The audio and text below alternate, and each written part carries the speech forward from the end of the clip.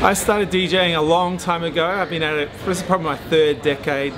Um, I never even really knew what a DJ was. I went to a club when I was 15 or 16 in Melbourne and saw this guy mixing records together and there was no gaps and I thought, wow, that's amazing. I'd really like to do that.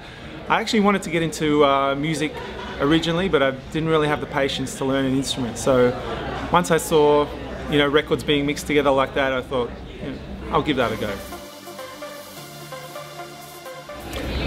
Well, Melbourne's kind of buzzing at the moment. Um, because, I don't know if you've heard this thing called the Melbourne Sound, which is a very kind of dark, minimal electro kind of sound.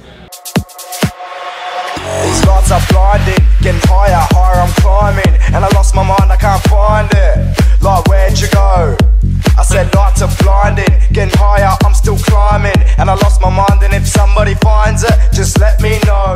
There's a couple of artists, Will Sparks, Joel Fletcher, who are really making waves uh, all over the world at the moment And a lot of big name DJs are taking on that sound Laidback Luke's a big backer of that sound uh, But to be honest, like we, the festivals have kind of taken over uh, the dance music scene. Um, the clubs, like, the DJ sets are kind of going back to like 45 minutes and one hour because there's so many DJs and so few clubs at the moment. So I don't know if that's healthy or not. It's uh, when I started, it was like four or five hour sets, and I kind of learned how to uh, learn how to DJ. Basically, doing those long sets, playing varied crowds, playing different styles of music.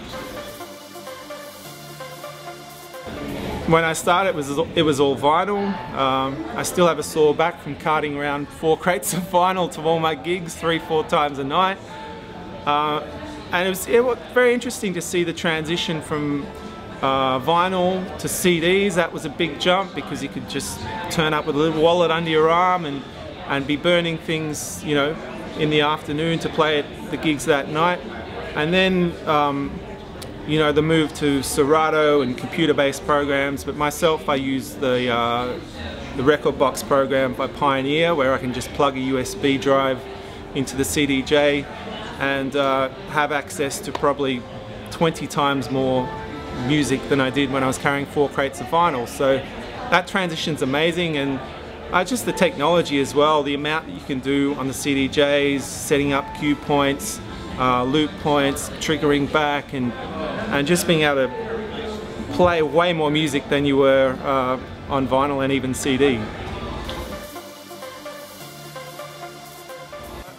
Primarily play house music.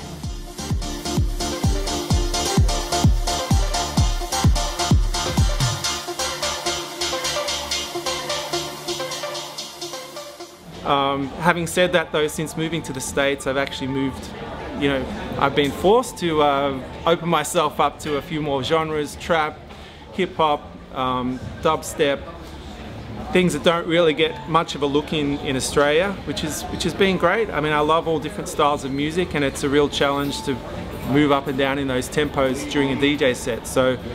But uh, me personally, I'm, I'm into house music. I've always produced house music. I started off doing funky sort of filtered house.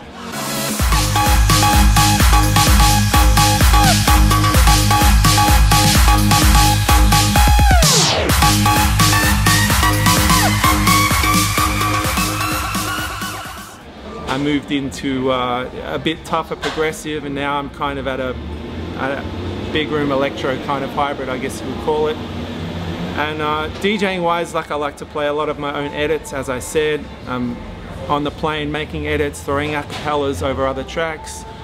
Uh, you know for me it's about maybe playing one for the crowd and then playing one for me, keeping a staying on the fence and trying to educate as well as entertain.